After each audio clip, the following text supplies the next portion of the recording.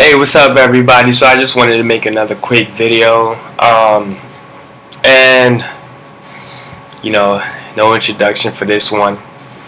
I'm sure some of you people heard what happened. The unfortunate situation that happened to Six Nine, um, Tekashi.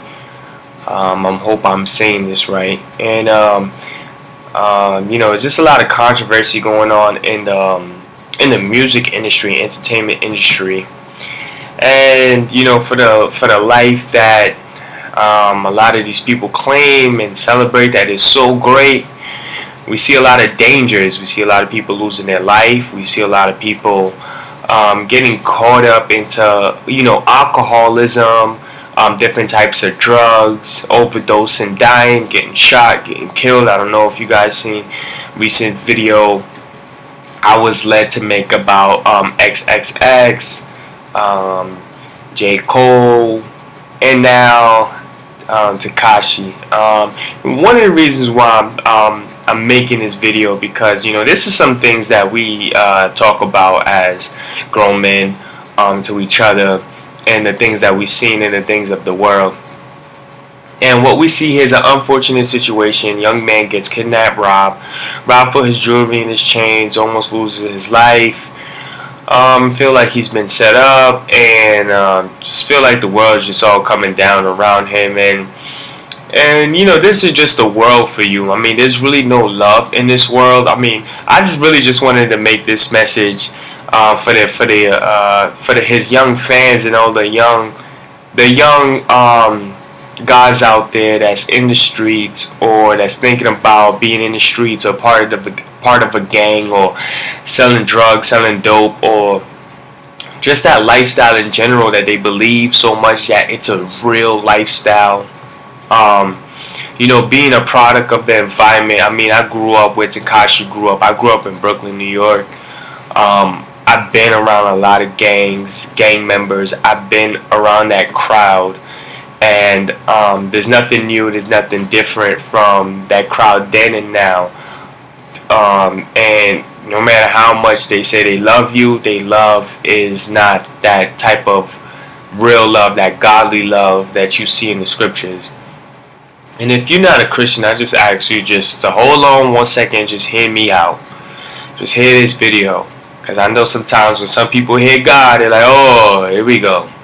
Hear me out let's be real for a second. Those of us that really been there, like you know, I'm I'm much older. I've been I seen the '90s era in New York. I seen um, the early 2000 era. I seen that the the whole gang epidemic, and I'm gonna tell you, man, it's all fake. It's not real like how they make it seem to be. The street life is not what people glorify it to be. I mean, most people that's in the streets want to get out of the streets. Most people that's in the ghettos, in the hood, wish they were never there, want to get out of there. They wish there was a way out. They knew a way out. Um, it's a lot of misery, it's a lot of pain, a lot of broken dreams, a lot of unfortunate situations, a lot of um, the poverty, the spirit of poverty breaks um, the ghetto's back. That's what keeps that. That's what keeps the ghetto a hood. That's what keeps it going. There's no glorify, no real glorification in the hood. It's just that it's a wild, wild jungle. Every man for themselves. Um, it's a, it's a basically a, you know, I gotta eat type attitude. You know, and that's exactly uh, what we see um, in this quote unquote uh, hood, um, the world, and is basically what's mine is mine, what's yours is yours, survival of the fittest type attitude. And um, you know what happened to this young man is an unfortunate situation. I don't know too much about the dude, but here's one thing that I do know. Um, I remember one time he was really trending a, a lot, and I was wondering why he was trending so much. Um, and I don't listen to um, you know rap music. Um, especially the, the new the new um the new generation is to me I just don't feel it. I, it's just my personal opinion. I'm just I don't feel it. I don't feel the soul. I don't feel. I just don't feel it. You know. So um, with this uh, uh, situation, um, oh yeah. So with this kid, how he's been trending. Um, so one day, I, I, you know, I watched a video of him, and he was having an interview, and he was talking about, you know, how so tough he was, and so how he was so gangster, and he was so thugged out, and you know, nobody, you know, he's basically saying nobody can, nobody test him, nobody can touch him Everywhere he goes, he's like untouchable. He's the king of New York. And you know, it's basically you know watching this as a as a you know much older dude, and I, you know I pray and I hope that he does see this video. This is nothing negative towards him. Um, and you know, being somebody that that been there and grew up there, and it's like seeing this um somebody talk like this and act like this is it, to me it's just sad, you know, because it's like, you know, we've been there. Like we've been there. We we you know we we we've seen it. Like at least I could say I've seen it. I've seen, you know, the the fake. I seen the real, and I seen the real thugs. I seen and known real thugs, real gangsters. I seen and known the real real ones, and you know, those guys were, you know, like thoroughbreds. I mean, to the core. You know what I mean? And they didn't have to talk about it, and they didn't have didn't have to um make a, a announcement about it. Um, people just could see them, and they and people just knew, and you can just tell. And you know, those guys usually you know, for the most part, the story doesn't change, the narrative does, don't change for anyone they usually end up dead or in jail. That's usually how it ends. So when I see this young man acting the way he's acting, talking the way he's talking, um, as if he's doing something new, um, he's not reinventing anything. He's, it's like you're trying to reinvent the wheel or trying to do something new that hasn't been done before. Putting that type of energy out there and saying that, you know, nothing can happen to you. You know what I mean? In this world, in this system, like man, it's just a sad situation. It's even sadder that his fans going to continue to support him, bump his music, and I just hope they don't take that mentality, which I know a lot of them will. But this is just a message to the young generation. Look, you're gonna reap whatever you sow, whatever type of energy that you put out into the world, you're gonna reciprocate and receive that same energy. So if you put out negative energy, you're going to receive that same energy back, you know, one way or the other. And that's just basically the law of God, which is the, the law of karma. You reap whatever you sow. Whatever you reap, I mean, whatever you sow, you shall reap. So if you sow negative energy, you're going to reap, receive that same negative feedback, that same negative energy. Now, if you sow good energy, you're gonna reap good energy back from your environment, from people around you. And that's why the you know that's why the Bible tells us to live good, live holy, be at peace with all men, um, love each other just as Christ loved us. Because only Christ knows the real love. I mean, these gang, the gang stuff, this that's not real love, man. I, I've been around gang gang members and gangsters. I mean, I mean guys that known each other from 10 years old, grew up gang banging, did everything with each other, turn on each other, kill each other, shoot shoot each other in the head for money.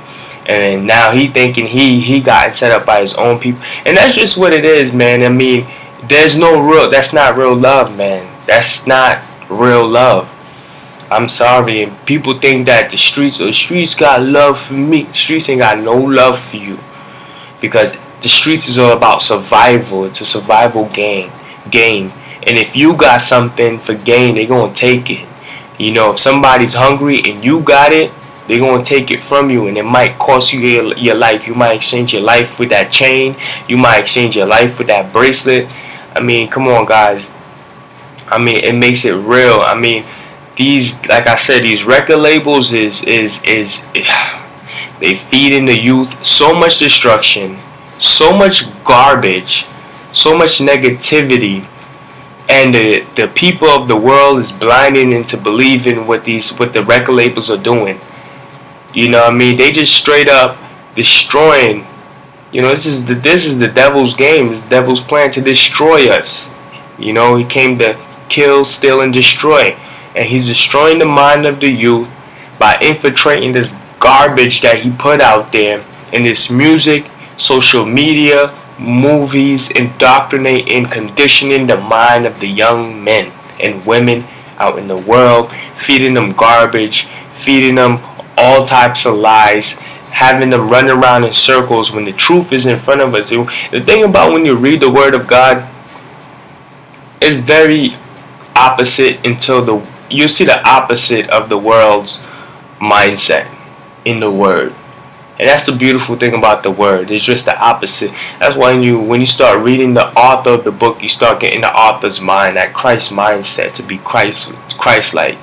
But you know, a lot of people want to act like that's not real. This is real. This is more real than anything that you ever seen. Any movie, any amount of money, any thug in the street is nothing more realer than Christ. I'm telling you this. There's nothing more. I've, I've been around. I've seen. I, have been. I've seen a lot of stuff. I've been around a lot of stuff, and I can give stories and the narrative doesn't change from these guys that I've known. Guys that were drug dealers, kingpins, gangsters, big time. The narrative don't change. They all end up dead in jail, uh, in a wheelchair, and don't change. You know what I mean? And the worst part is not having Christ when you die. That's that's even the worst that's worse because the afterlife is just it, it continues on. It doesn't stop you know? I keep telling people like you know there's a spirit inside of your body that lives forever. It cannot die because god cannot die. And if his spirit is is in us if we're from his spirit if if um, our likeness is of his spirit meaning his spirit is in us is from him and is and it's of him our spirit cannot die also so our spirit lives forever, just like the angels. They'll live forever. And just like um, God, He lives forever. He does not die. The physical body died, but the spirit continues to live on. What's going to happen to these God's spirit after it departs from the body? It's a whole other ball game. And, you know, man, I just, man, man, man, we got to help save the youth and one of these ways is talking against the evil music industry that's giving the youth millions of dollars in exchange for their soul and services in exchange just to go collect more souls and bring to the bring to destruction. They're just about getting their pockets fat for the love of money is the root of all evil. They're really about getting their pockets fat and they don't mind if a little bloodshed is shed here and there a um, couple um, ones are sent to prison. They just don't mind. But like I said, I'm not gonna try to make this long. Wanting to get that out there, man. Six six nine, Kashi. If you get this message, bro, change your life, turn to Christ. You ain't doing nothing new. It's all gonna be dark path, going down a dark path from here on. I mean, there's no love in this world. There's no love in that rap game. There's no love in the streets. I'm sorry. It's all destruction. It's all darkness from there. Um, so that's all I wanted to say. Um, for those of you that's fighting a good fight, keep keep fighting it and keep your head up. God is watching. God always got something planned for all of those that love Him. And just believe and just keep going and just keep pushing on. There's great things. There's good. There's good things when you do good. I mean, it might take a while. It might not seem like it sometimes, but there's a lot of good when you do good. Trust me and believe me. But outside of that, there's nothing, man. There's really nothing in this world. There's nothing but destruction, hate, envy, greed, and just a bunch of people you can't trust. So just keep keep your eyes focused on the prize, y'all. Peace and many blessings.